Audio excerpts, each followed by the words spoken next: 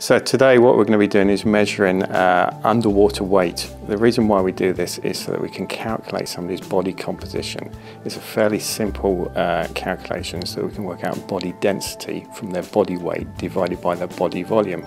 So what we're going to be doing is weighing uh, our subject Dennis underwater and when we measure him underwater, measure his weight underwater, what we can do is calculate his apparent loss of weight underwater.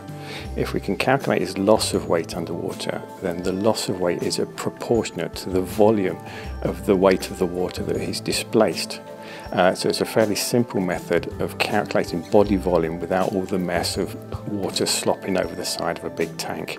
Uh, so today we're going to get Dennis into the tank of water that's just behind me and we're going to weigh him four, five or six times so that we can get his, uh, an accurate measurement of his body weight and then we'll do the subsequent calculations to work out his body density.